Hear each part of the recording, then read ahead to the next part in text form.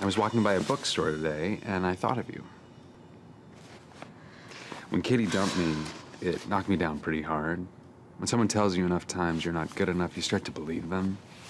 Couldn't get on a stage for months. Wow, what changed? I was waiting for the subway one day, and these three kids started singing one of my favorite songs.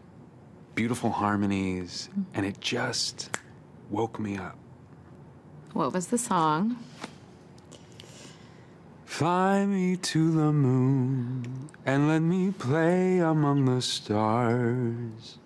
Let me see what spring is like on Jupiter and Mars. You've heard of it? yeah. Sometimes you just need to be reignited by your passion in order to wake up. Just one kiss.